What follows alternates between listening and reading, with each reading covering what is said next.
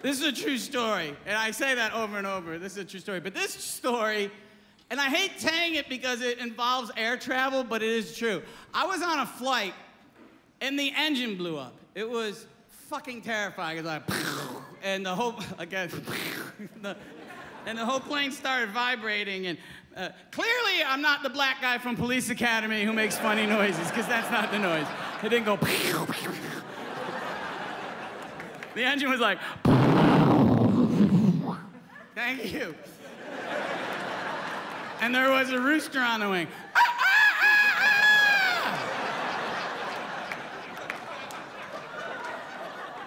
and a lawn sprinkler. All right, that's as much of Michael Winslow's act I've seen. So, so the engine blew up. This is a true story, and the whole plane starts vibrating and shooting straight towards the earth, and it was terrifying. And I thought, well, before you freak out and lose your shit, see what the flight attendants are doing. And there was two flight attendants, and they turned around. They had been looking out the window, and they turned around, and they were crying. crying flight attendants. You know, they're always there. Oh, we're here for your safety? Fuck that. These whores had checked out. They were like... crying flight attendants. I pooped a little. Yeah! Somebody fucking do! That's gonna be my double finger. All right. Um, I pooped a little. All right. Get back in the show. All right. So the engine blew up, and the plane. We're going to New York, and the and the and the plane is starts. It's really just going, making this weird noise. And the pilot got on. The pilot's all mellow, and he goes, "Hello, ladies and gentlemen. This is your pilot. There's no reason to be alarmed. We're gonna land in Cleveland in three minutes."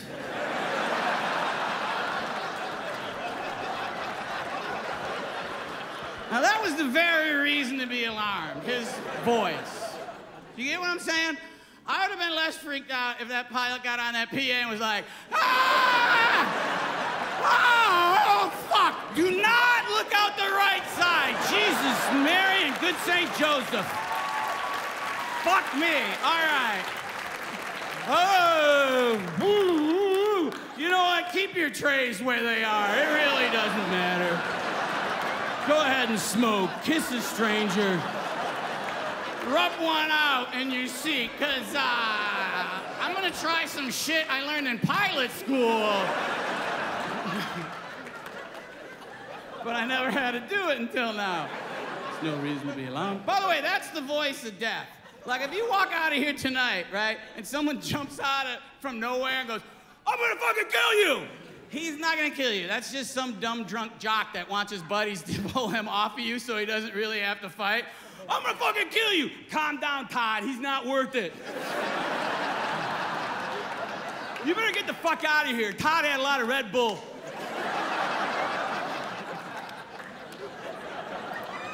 That's the voice of death. If you walk out of here and a guy came up behind you and said, I'm gonna kill you, that fucker's gonna kill you. Do you know what I mean? Like Jeffrey Dahmer didn't go, I'm gonna fucking eat your brains. Ah! He was like, uh, hey, can I get you another drink? Does this, does this rag smell funny to you? Thanks for bringing him back, officer. We were having a lover's spat. I don't know where his clothes are. Way to go, Milwaukee Police Department. All right. So, um, oh, here's my point. Now, I'm gonna lose some of you, and I want you to stick with me. I'm not gonna lose you because this is a super intelligent joke. I'm gonna lose you because you're gonna get a little offended, but please just stick with me till the end. The other people on the flight, and I'm not making this up, was the United States Special Olympics team. Ah, I know. I'm not making it up. I'm sorry if you're. It, it wasn't me and the cast of Lost. That's who was on the flight. It was 45 men and women in red, white, and blue running suits with medals on. So if it wasn't the Special Olympics team, it was a really big hip hop group with Down syndrome.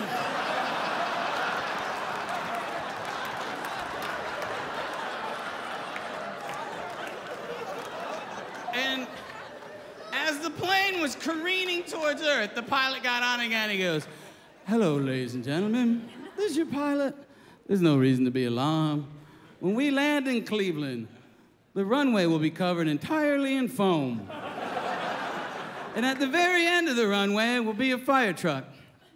And um, I thought, well, this is my biggest fear. I'm, I am dying.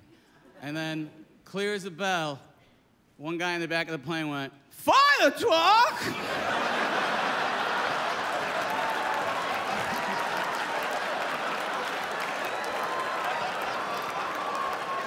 He is excited. He is going to see a fire truck. Fire truck? Yeah, motherfucking fire truck. If if we live, you will see a fire truck. That's right. Fire truck? True story. I know some of you work with mentally challenged people, and I know some of you have mentally challenged people in your family, but if you don't think they say or do anything funny, you're denying that they're human beings, because that's the funniest fucking thing I've ever heard another human being say. I got pulled over by a cop with a stutter. This is a true story.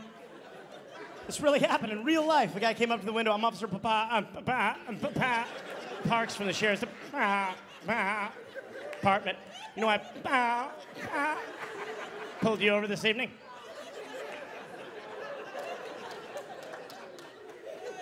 I was like, to mess with my head? Are you serious? How am I supposed to not giggle and go to prison for the rest of my life? That's not even fair. And he's a sheriff. How dangerous is that? Free, free, free, free, free, free, free, free, bang! Shit. Dude, Tim shot another one. He can't get freeze out in time. That can't be legal. You had a stutter and got pulled over by that cop? You know I pop and pop and pull your n n no? Don't you m m make fun of me, mother? I'm n n nah. That's how I talk. Get in the graw and graw. You have to change tapes in the dash cam halfway through. I was in a bank robbery once. This is crazy, speaking of violent places. I, uh, I walked into a bank and, uh, and I'm standing near the bank uh, door, the front door of the bank, and this dude comes running in. And, uh, and as he's running in, I notice he's got a gun in his hand and a Bill Clinton mask on. This is not made up for the show. Bill Clinton mask and a gun in his hand, and I'm the only one to see him. So naturally, I thought, that's a weird way to run into a bank. you never think bank robbery, right? Not on my watch, buddy. And then my mind caught up to what was happening, and I was like, holy shit, this guy's gonna rob us. So I peed a little bit. That's a time management issue. They don't let you go during the robbery. I watch TV. And I turned to everybody. I'm like, "Oh, you guys!" And they looked at me, and then I was, and then I didn't know what else to say. All I could think of is the movies where they say, "This is a robbery," but you can't say that if you're in the front, because then you're the fucking robber. so I froze, and I, I kind of motioned to him as he. I got their attention, and I went, "Hey," and I introduced him. I hosted the bank robbery, basically. Give it up for your robber! He came in with a gun in his hand and a Bill Clinton mask on, and, and he goes, Everybody on your knees! And nobody laughed but me. I just recently moved to uh, Encino, California, which I believe is the capital of Israel, I think. Uh, I have to tell you this story that happened. Uh, there was a uh, there's a big uh, buffed out uh, Persian guy, which they're Iranians, but they say they're Persian because it sounds better, right? even though Persia hasn't existed for centuries. Um, it's like, where are you from? Iran. Oh, you're Iranian? I'm not Iranian, I'm Persian. Okay. That's like me going up to some Mexican guy. Where are you from? Mexico. Oh, so you're Mexican? No, Aztec. You know, you can't. You can't hold on to shit forever. So. So this guy, he's this big buffed out Persian guy. You ever see the big buffed out guys? They only work on their upper body, but not their legs. You ever see these guys? Look like a meatball and a pair of toothpicks, right? So I'm standing out front waiting for somebody to pick me up, right? And outside this apartment complex, someone's parked behind his car, and he doesn't know who, right? And this guy sees me, thinks I know, right? He comes right at me, he goes, hey, hey, hey, is this your parking? In my parking? I was like, uh, you know me? No, no, no. Then who's, who's? Who's parking in my parking? Now, right then, the neighborhood rat comes out. You know, the guy doesn't work during the day, knows everybody's business on the block. He comes out eating cheese. Like, yeah, I know who you're looking for. Two girls and a guy, they went in that apartment. It's about a half hour ago. So now this Persian guy knows that the owner of the vehicle's in that apartment complex somewhere, right? And he decides to go to the intercom. You can't see anybody, and he's gonna dial everybody and find out whose cars are. He's like, tuk, tuk, tuk, tuk, tuk. uh, yeah, hello, yeah, yeah. Is this your parking? In my fucking parking? I, I'm sorry, I didn't. Is this your parking in my fucking spot of mine? Stupid. And he hangs up on her. I'm like, who the hell is this guy, right? Goes to the next. Uh, yeah, hello, yeah, yeah. Is this your parking? In my fucking parking? Um, no. Then who's, who's, who's parking in my fucking parking? So why I get involved at this point, I have no idea, right? So I go, look, man, I'm afraid this guy's gonna get shot. I'm like, it's a 2004 Altima. It's a red 2004 Altima. We would use that that I just gave you, right? And, and relay it the same way. Not this guy. Tuk, tuk, tuk, tuk, tuk, tuk. Uh, yeah, yeah, yeah. Is this your parking? In my parking with Altima of red? I, I'm sorry, I didn't quite. Is this your parking in my parking in 2004? yes or fucking no? I realized that this guy's like that probably all the time. This is the kind of guy, this is the type of dude that probably calls up information, you know.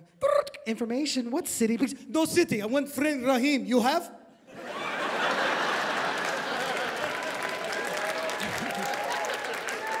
I'm sorry, so you have to have a city. I don't want fucking city. I want friend Rahim. You have? Yes or fucking no?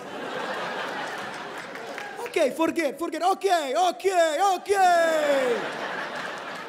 Forget. Okay, it's 411, right? 411, 411, information. I want you to tell me who's barking in my fucking parking.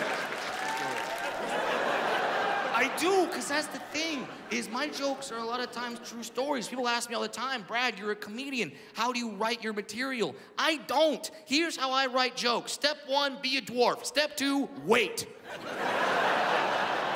Funny shit's gonna happen to you. I never know when. It's not like I look down like, oh, three o'clock, funny shit's about to happen. No, it's not like that. It just happens randomly. Like not too long ago, I took my mom out to lunch. Uh, now, before I go on with this joke, uh, just know that my mom is not a little person like me, and my dad, not a dwarf. No, I know, we don't have to all come from the same tribe. Uh, you can't like drive down the street be like, which house do the dwarves live in? It's the mushroom with the door in it. So my mom is driving, I'm in the passenger seat, not a booster. Fuck off. I'm the normal chair like a big boy. And my mom comes behind this guy. Now this guy's trying to turn down a one-way street, but he's going the wrong way down the one-way street. And this is causing all sorts of traffic, and people are honking, getting very upset. My mom is right behind him. She is polite. She's a prim and proper Southern belle from Savannah, Georgia. And she looks at the guy, she goes, uh, excuse me there, sir. I don't believe you can make a left-hand turn at this particular intersection. I know you hear that. You want lemonade right now, don't you? Like, that's my mom. And then this guy proceeds to look at my mother and goes, Why don't you shut the fuck up? I'm killing you right now, okay? I'm killing you. You say that to my mom? That's my mom. I love my mom. She gave birth to me. And just so you know, giving birth to a dwarf is not easy. It's not like you just sneeze and we fly out of there, okay? Like, the doctor isn't sitting there with a catcher's mitt, like, you know, like that, that doesn't happen. No, it is very hard to give birth to a little person. When I was born, my head was about the same size as it is right now, okay? Do you understand what that means? And my mom never complained. She never once complained. My dad, he complains about it all the time. He tells me, like, you realize that was the first pussy you ever tore up? Like, yeah, that's my mom. She gave birth to me. I will defend this woman. I will die for this woman. So I get out of the car and I start yelling at this guy. What the hell did you just say? What the hell? Get out here. Get out here, you son of a bitch. Let's go, asshole. And he gets out of the car. I'm like, oh shit, this is actually happening right now. Okay. Um, this is going to come as a shock to you people. Uh, I don't know how to fight. no such thing as midget UFC, okay? There should be midget UFC. That would be awesome. Like me and Wee Man in a ball pit at Chuck E. Cheese. Like, let's get it on. You know what I mean? It's not. So I don't know how to fight. The only fighting I know is stuff I learned from video games in the 90s. This guy's charging at me, and as some weird instinct, I just look at him and I go, Hadouken! Like that, and I just, say Hadouken. Now, for those of you who don't know what that is, I will explain. There was a video game in the 90s called Street Fighter 2, okay? Street Fighter. Yeah. There were two characters in that game. They wouldn't just punch and kick. No, they would yell out Hadouken and they would throw a fireball from their hands. A fireball, because that might be useful in a fight. Eh, Punch, kick, eh, fireball. It, it works.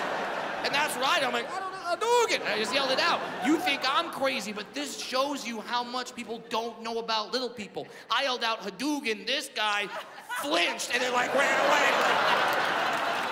He ran away. Do you understand what that means? That means that when I yelled out Hadouken, this guy thought, well, he is a dwarf. He can probably throw a fireball. I'm booking it. At that point, I would give all my money, all of my money, to be there when this guy told his friends this story.